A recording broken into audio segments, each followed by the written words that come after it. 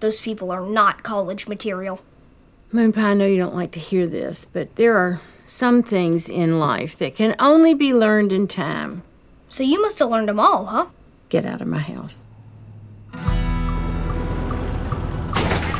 Hang in there.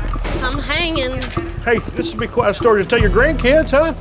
I live alone. I'm single. I don't think grandkids are in the picture. Oh, well, I, I got a wife, kids.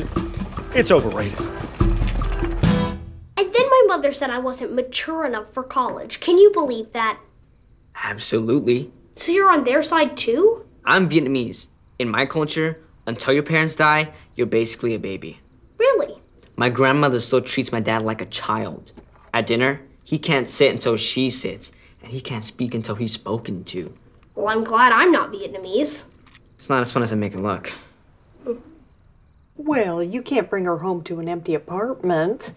Bring her here and we'll look after her until she's back on her feet. You sure? Of course. We'll set her up in Georgie's room. Thanks, Mary. See you in a bit. Hey, George.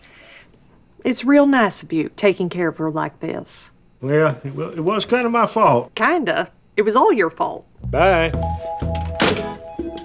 Hey, Hey, how'd we do? you didn't miss anything. That bad. I can safely say you saw the best hit of the night. How's she doing? Yeah, not bad. Could be worse. Little whiplash, couple of bruised ribs, broken arm, and collarbone. But that's it.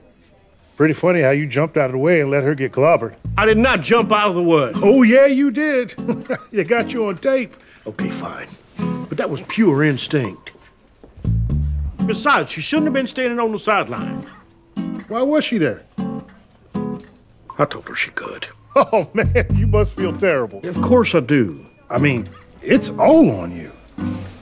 You done? Oh, baby, I'm just getting started.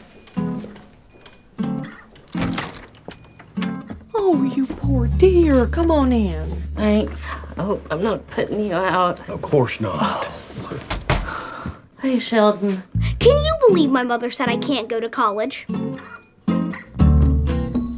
So you just put her in my room without consulting me? Consulting you? Who cares what you think? Well, I ain't gonna sleep on the couch. It's just for a few nights until she can take care of herself. Can I at least stay at Meemaw's? If you promise not to come back, Why you gotta be so mean to me? just feels right.